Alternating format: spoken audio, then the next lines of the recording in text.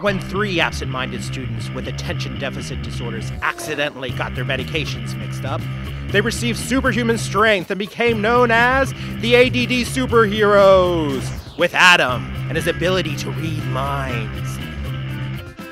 Debbie, who was able to travel at fast speeds, and Daniel, given the power to go back in time. With their powers only known to the school's head administrator, Principal Finger, the ADD superheroes struggle for justice, truth, and the ability to stay focused. Tonight's episode. Oh, look, she came. Hey, What? what? Did you say something? No, I was just going to. You've got the weirdest eyebrows. I know. I got them from my mother or my father. Or my. Man, why did I get a fruit cup for lunch? I hate fruit cup. You guys, you know what we should totally do? What? We should. Um. We should. Um.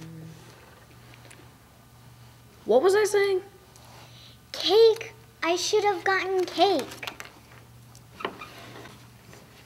ADD superheroes, I need your help. What is it, Principal Finger? The money from the school bake sale has gone missing. Can you handle it? Handle what? Finding the money from the bake sale. Hey, Principal Finger, when did you get here? Look, I have two suspects in mind, but I need your special powers to prove it. Right. Which are?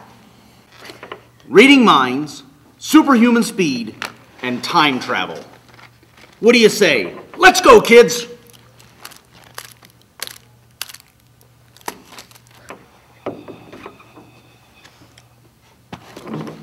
Please?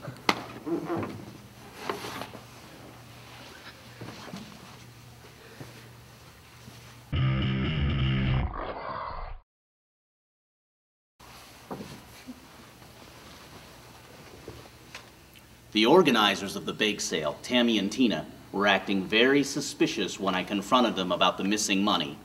I have a feeling something strange is going on. I have a feeling too. Touch here. Does this feel like a growth or a lump to you? Forget the lump! We have to get to the bottom of the missing money. What missing money? The missing money from the bake sale. A bake sale? I wonder if they have sheet cake. I love sheet cake. Forget the sheet cake! Here's the plan Adam, you go read their minds and see if you find anything suspicious.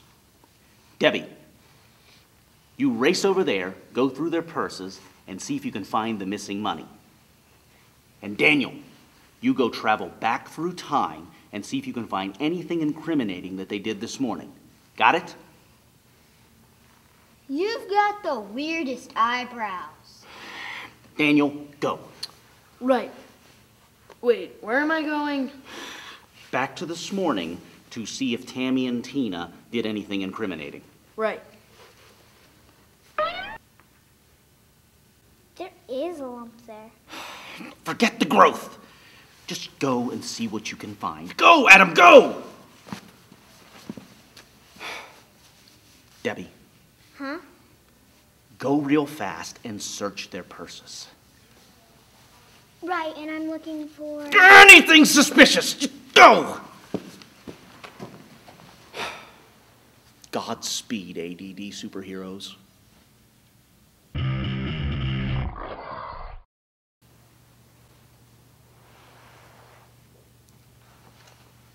What did you find? Sheet cake. It's so good. Anything else? What? Oh, yeah. They both have a lot of cash in their purses and a lot of hair removal products. Do you think I should get my eyebrows waxed? No. Uh, well, Well, what? did you find anything from reading their minds? No. Other than they both think you're cute. Hey, sheet cake. Daniel, did you find out anything from this morning? This morning? Oh man, I went back to the day when they were born. Oh, sheet cake. There's something suspicious about those girls. Oh, they're not girls, they're dudes. What? Yeah, Tina and Tammy were born Tim and Tommy. They had the blue blankets and everything. Oh, yeah, and I still found this in their purses. We have the evidence. Good work, ADD superheroes!